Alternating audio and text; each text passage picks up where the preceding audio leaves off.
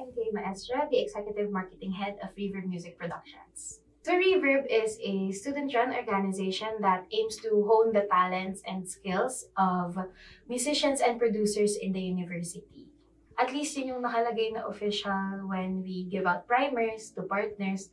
Pero personally, I think it doesn't only stop with musicians and producers in the university.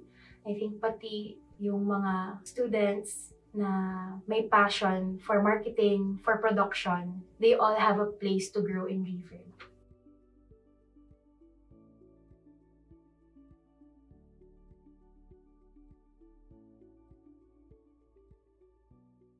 Music has always been a safe space for me. Like at home, yung tito ko musician, yung dad ko knows how to play many instruments.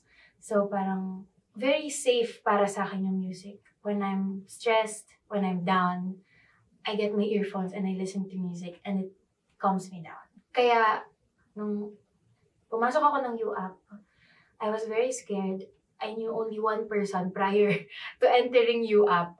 So, yung, lalo na college, kami yung unang online, online batch. So, college and being online and not knowing anyone was very overwhelming. Kaya, when I knew of the existence of Reverb and what they do, it automatically, wait, kailangan ko mag-try. I don't care kung di mo makapasok, basta kailangan ko mag-try. I don't want it to be a what if for me. So, ayan, may, um, siguro yun yung pinaka reason why I joined Reverb in the first place. So, one takeaway that I've learned in Reverb is you can grow. Sobrang vague, pero context, nakapasok ako ng Reverb as a vocalist. And first year ko, vocalist ako, ano, pabebe lang. Tapos, tinanong ako if I want to try to be part of marketing. So, yun. Sumali ako. Tapos, okay, sige, marketing. And then, sa next event, tinanong ulit ako, do you want to be the head of marketing for this event? So, sabi ko, hala, ba't ako? Pero, sige, go!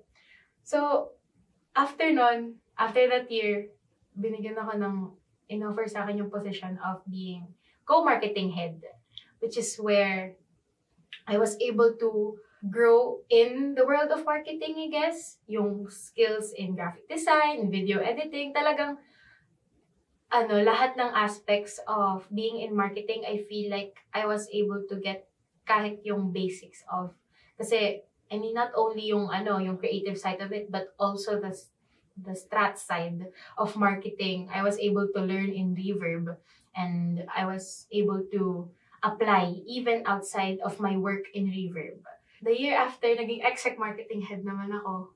Tapos, ayun, ngayon, honestly, hindi ko alam kung ba't ako nandito. Pero, yung growth na yon yung from being a vocalist to being exec marketing head, na parang ang layo, pero nagulat ako na pagka sinabihan mo ko na, okay, Kay, ano ka nga, gawa ka nga ng strat for an event, kaya kong gawin.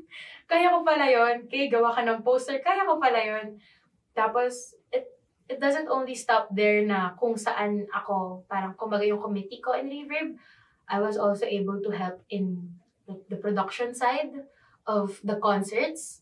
So, nung last concert namin, yung Reverb 10th, I was a co-project head. So, I was able to learn kung paano gumalaw lahat ng parts of a concert from the planning to execution to even evaluation after.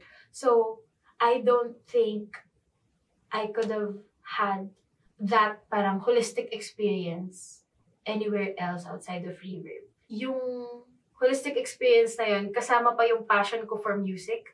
Kaya kahit nakakapagod pakinggan na prod, marketing talent, well, parang happy pagod, kumbaga, yung nangyari. Kasi even if we're working on many, many things, on tiring things, we're working on it alongside having our passion for music.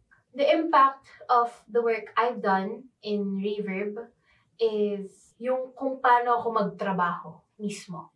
Yung mga natutunan ko in production, mga natutunan ko in marketing, nagagamit ko lahat sa mga bagay na ginagawa ko outside of Reverb. Fourth year, ano ako, HCD student, incoming fourth year HCD student. So we have our internship. Tapos we were making our CVs. Tapos, nakalagay doon, nalalagay ko doon yung mga ginawa ko sa Reverb. Sumali lang ako ng org, nalalagay ko na siya sa CV.